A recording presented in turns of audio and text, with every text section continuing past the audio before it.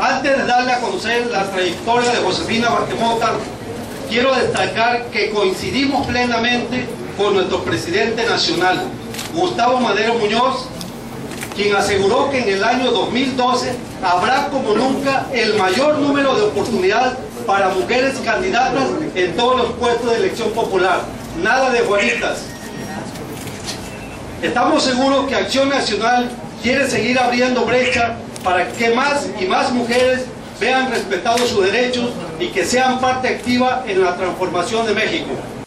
Que la ciudadanía esté esperando propuestas serias, que la ciudadanía esté esperando propuestas que realmente no solamente sean serias y creíbles, sino propuestas que se expliquen cómo se van a lograr. Eh, y no pienso ser parte de un esquema de confrontación, al contrario, quiero ser parte de una plataforma de propuestas y de propuestas que tengan sustento y validez y de propuestas donde la ciudadanía esté en el centro y sea sin duda lo más importante, particularmente cuando se habla de agendas que tanto lastiman a las familias y a las personas. Creo, en consecuencia, que quien quiera entrar en un esquema de confrontación verbal será su propia decisión. En mi caso, yo me ocuparé de seguir caminando México, de seguir convocando la unidad y la voluntad de los panistas y particularmente de estar al lado de los ciudadanos. En el Congreso pude ser parte de una legislatura donde, por ejemplo, aprobamos la ley antisecuestro y fue una iniciativa que surgió desde la ciudadanía.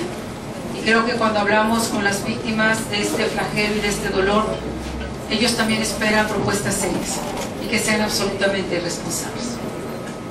Cada vez que un debate o cada vez que un espacio de propuesta se restringe a los medios de comunicación, es un espacio de pérdida de democracia y de posibilidad de informar al ciudadano esta contienda electoral será definitiva, no solamente, ya lo, dije hace un momento, para los próximos seis años, sino para el resto del siglo XXI. Por lo tanto, estoy de lado de que se abra el mayor número de espacios para el debate, para la propuesta y la información al ciudadano. Y creo que el reto hoy de los panistas, por un lado, es lograr la mejor candidatura, no solamente la que gane dentro, sino aquella que tenga la capacidad de ganar fuera en la boleta electoral. En segundo lugar, tenemos la oportunidad de refrendar el espíritu ciudadano y democrático de Acción Nacional. Confío en que así sucederá y en que sabremos estar a tiempo para esta La frontera sur requiere una atención sin duda especial. Es una frontera compleja, es una frontera que también debemos abordar desde la preocupación de la migración, del cuidado a los migrantes, de la atención y del ejercicio de los derechos humanos. Es una frontera que históricamente ha sido compleja y que requiere la corresponsabilidad de los gobiernos locales. Por lo tanto, en mi propuesta, las dos fronteras son prioritarias. En algunas razones son coincidentes y en otras tienen su propia complejidad y desafío. En el caso de la frontera sur, me parece que lo más importante primero es salvaguardar el tránsito de quienes cruzan esta frontera, particularmente, insisto, en el caso de los migrantes y la protección de sus derechos humanos y la salvaguarda de sus vidas pero también en materia de seguridad. Y aquí tenemos que construir conjuntamente con una agenda local de cada gobierno que está en esta zona fronteriza. Es así como yo lo planteo de entrada y estaré construyendo esta propuesta con los ciudadanos que están justamente en esta zona fronteriza. Yo la conozco particularmente, me tocó vivir esta problemática cuando el huracán está en esta parte de la zona fronteriza. Así que conozco su problemática, pero también sé el cruce, por ejemplo, que se hace para la cosecha del café y para muchas otras actividades económicas es parte del desafío de esta frontera. Con mucho gusto. ¿Por qué confiar en una mujer? Porque nadie podría explicar su vida sin una mujer primero. Porque las mujeres explicamos a la otra mitad de la población. Porque tenemos 7 millones de mujeres jefas de familia que mantienen todos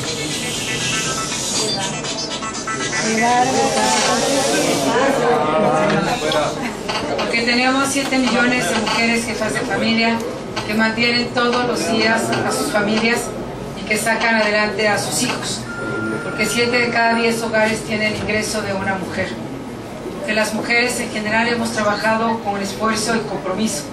Y porque las mujeres cuando salimos a trabajar no pensamos solamente en nosotros, pensamos también en alguien más, o en nuestros hijos, o en nuestros padres, o en nuestra comunidad, o en nuestra pareja, o en nuestro país. Con mucho gusto, primero me parece que cada una o cada uno de nosotros tiene que asumir su propia responsabilidad. Y que los ciudadanos, al conocer también este tipo de expresiones, sabrán diferenciar quién está haciendo propuestas serias o quién está haciendo propuestas que no se explican los cómo. Aquí no es suficiente decir qué se va a hacer, hay que decir cómo se va a hacer y con quiénes se va a construir. Confío plenamente en la inteligencia de los mexicanos. Creo que sin duda los ciudadanos saben distinguir y que estos son los riesgos pero las virtudes de una democracia. Saber diferenciar entre las personas, entre las propuestas y en este sentido es la apuesta y la confianza que yo tengo y reitero de que tenemos toda la posibilidad y estoy segura que refrendaremos el triunfo de la presidencia de la República. Como aspirante a la candidatura de PAN, ¿tiene usted alguna propuesta específica para enfrentar los problemas de Tabasco y lo que le ocasiona a petróleos mexicanos, el mal manejo de las presas, las recurrentes inundaciones a partir de 2007? ¿Tiene alguna propuesta específica para enfrentar ese problema?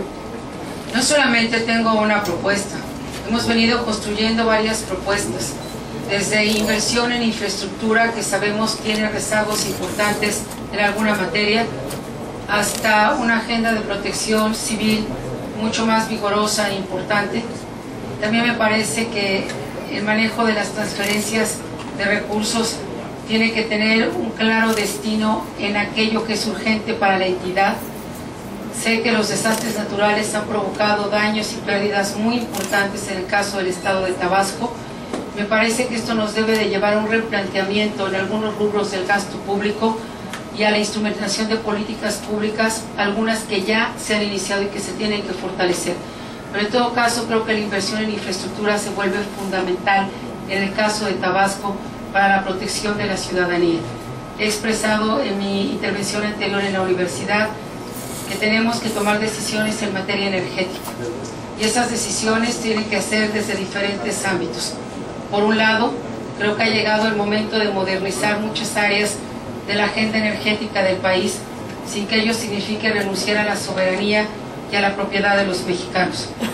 Particularmente el caso de Petrobras resulta inspirador y creo que sería un buen referente a analizar y en todo caso evaluar para tomar nuestras propias decisiones. Me parece que también tenemos una agenda pendiente de desarrollo sustentable y medio ambiente. Que la agenda energética no signifique detrimento de la agenda de desarrollo sustentable y de medio ambiente, sino al contrario, signifique para estados como Tabasco o como para Campecho y visitaré Ciudad del Carmen prosperidad y mejora en las condiciones de vida y no detrimento alguno como en ocasiones lo hemos enfrentado en el país. Tenemos riqueza por un lado, pero por otro lado tenemos enormes costos de destrucción de medio ambiente. Creo que son lecciones que hemos aprendido y que tenemos que empezar a tomar decisiones. Este, hoy en su intervención en la universidad, en dos ocasiones que planteó usted de que la próxima campaña usted espera que no haya un lenguaje de confrontación en el lado, por el lado del PRD, el virtual aspirante tiene un resquemor, un reclamo histórico que ha sido de haberse calificado como un enemigo, un peligro para el país y creo que él también está planteando ahora un lenguaje distinto. Eh, ¿Qué espera usted entre todos los aspirantes de cómo pueda desencadenarse esta campaña? ¿En qué tipo de lenguaje? ¿Cómo puede prever eso? Y por último, que también López Obrador se ha hecho un primer reclamo de que habría inequidad al no permitírsele a los, al PRD tener espacios en televisión en tanto que el PAN y el PRI deciden sus precandidaturas en una continental. Lo primero que diría es que tenemos que apegarnos al cumplimiento de la ley.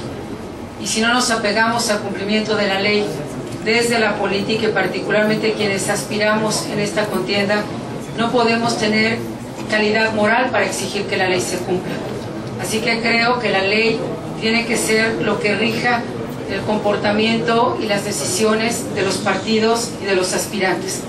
Probablemente no coincidamos con la ley electoral, pero finalmente es la ley que está rigiendo los procesos electorales y a ella debemos apegarnos. Salirnos del cumplimiento de la ley sería nuevamente un llamado a no reconocer ni la ley ni la vida institucional. Y en segundo lugar, lo que yo espero aportar en esta contienda electoral es no solamente en el lenguaje, sino particularmente en la propuesta, propuestas que sean serias, que correspondan a la realidad que están viviendo millones de mexicanos y escuchar. Creo que yo he venido, no tengo duda, en este día a Tabasco también escuchar. Escuchar a las mujeres, a los hombres, a los jóvenes en su propuesta, en su preocupación. No podemos hacer propuestas de orden unilateral, con gran desconocimiento de las realidades. Eso es lo que estoy esperando en esta contienda. Responsabilidad, propuesta, debate serio, cumplimiento de la ley, orden en aquello que hacemos y creo que esto requiere no solamente de apego a la ley, sino de una autocontención, de una exigencia de orden personal e institucional para dar a los mexicanos realmente lo que están esperando de una clase política de la que hoy en ocasiones se sienten distantes o confían de manera muy escasa. Muy. Compañero, muchas gracias.